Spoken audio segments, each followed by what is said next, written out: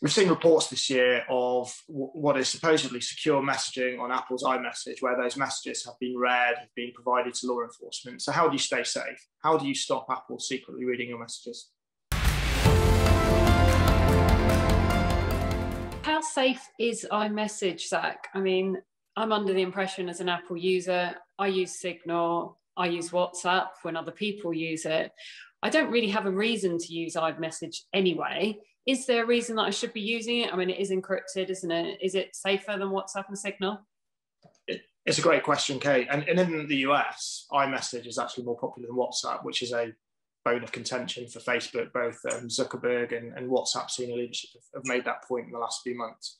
Um, what's little known is the actual architecture that underpins iMessage, not SMS that you send on your iPhone, but actual iMessage itself, is the top of the tree.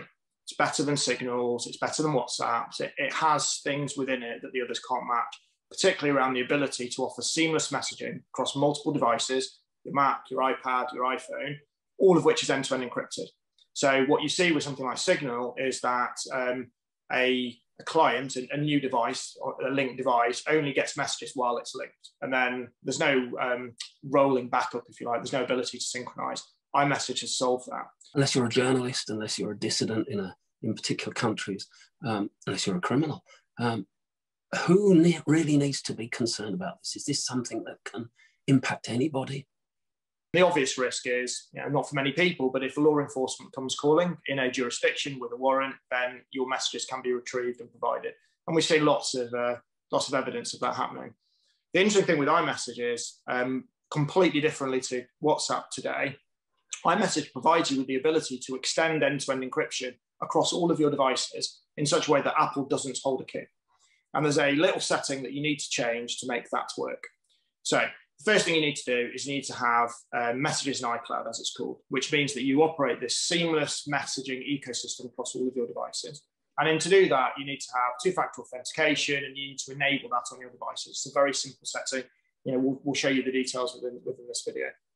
But then the trick is this. If you just do that and nothing else, Apple will store a copy of your encryption key in your general iCloud backup. So in essence, although it's end-to-end encrypted between all of these devices, Apple has a copy of the key. Now you can stop Apple holding a copy of the key by turning off your generic iCloud backup, which is again a little setting that we'll show you here.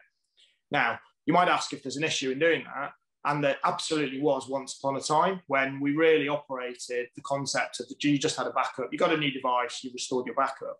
But these days, with where the cloud is, almost everything is synchronized. So you'll know now when you get a new iPhone, the actual restore of the backup is super fast. You know, it puts your apps in the right place and you get the nice background restored.